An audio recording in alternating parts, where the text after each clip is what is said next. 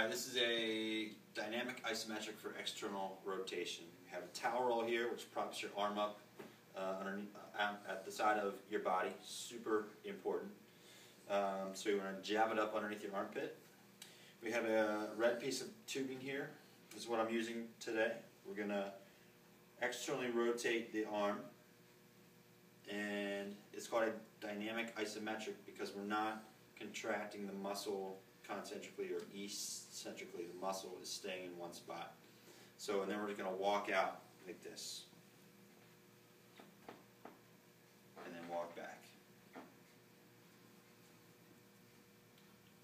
So I do this about 10 walkouts, and then I'll switch it around and I'll go into internal rotation, which would be the same thing but the.